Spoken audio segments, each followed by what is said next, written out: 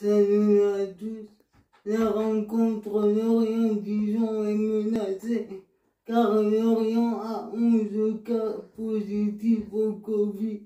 Si un nouveau cas est déploré, on la, on la reporte.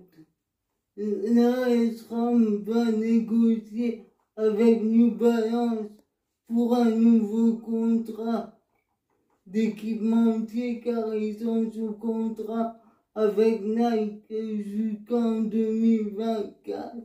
Amazon voudrait des droits télé pour la saison prochaine de Liga, mais c'est peu probable.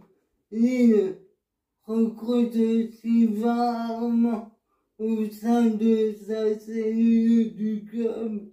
Émile Rousseau se retire à la des candidatures à la présidentielle du Barça.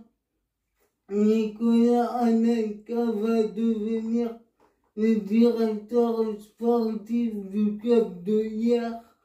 Enfin, Romelu Lukaku a été élu meilleur, et meilleur belge de l'année évoluant à l'étranger.